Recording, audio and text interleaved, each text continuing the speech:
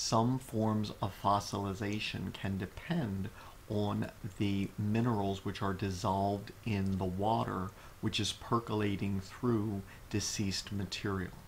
These minerals are then laid down and over time can be compressed and form rock. Here is a visual depiction of minerals being dissolved in water are images from geothermal springs in the Rockies. These geothermal springs have water which are, is carrying minerals from deep inside the earth and these springs then advertise the minerals which are present in the water.